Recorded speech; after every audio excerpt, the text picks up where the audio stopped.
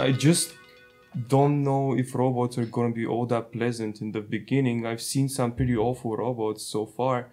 It doesn't seem to be so much fun. Maybe I'm maybe maybe I haven't really experienced the right robot. Assuming the robot is just an excellent piece of technology, uh, everything you've ever wanted, it's why not?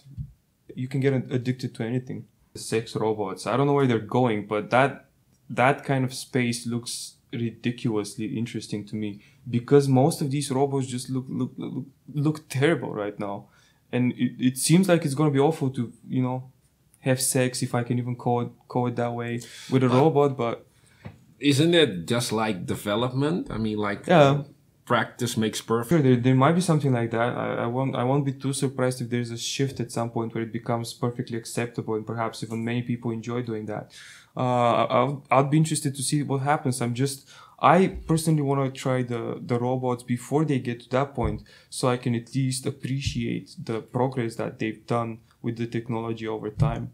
You ever experienced one of the robots? No, I haven't. But there, I heard there was a, mu- robot.